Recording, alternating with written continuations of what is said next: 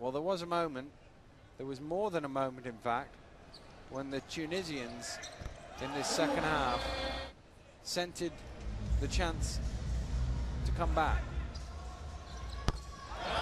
But they could never quite close the gap.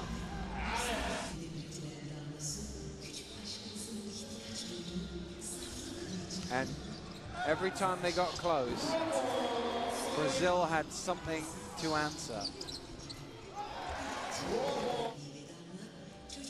Slimane did have a good game though. He's had two good games. Played well in the first game as well.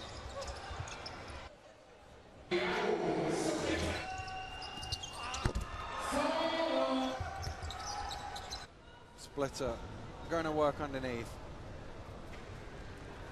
And it's finished here with victory for Brazil, so they're top of the table alongside the USA with two wins from two. Slovenia, Croatia have split their games, and Iran and Tunisia propping up the table with two defeats each after day two here in Istanbul.